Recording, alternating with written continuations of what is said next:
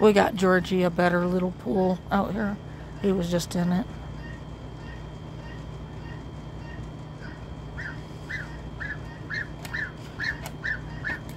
There he goes. His foot's about as big as that whole thing is. He likes grass when it's floating in the water.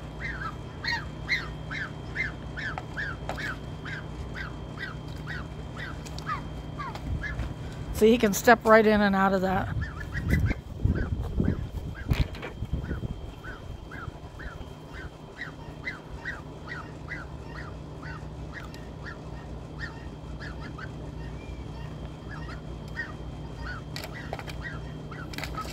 Oops, he got his little butt wet.